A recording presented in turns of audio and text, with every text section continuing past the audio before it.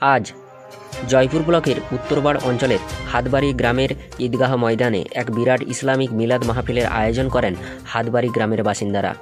ফুরফুরা শরীফের ফিরিজাদা মাওলানা মোহাম্মদ আব্দুল কাদের সিদ্দিকী সাহেব ইসলামিক বক্তব্য রাখেন।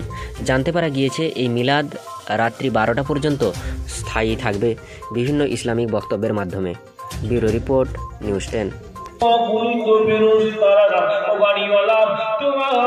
বাবাটাকে রহমতি ডানা দিয়ে ঘিরে রেখে দিয়ান আখিরি জামানা রসুল্লাহ সাল্লাল্লাহু আলাইহি ওয়াসাল্লাম আলোচনা হবে।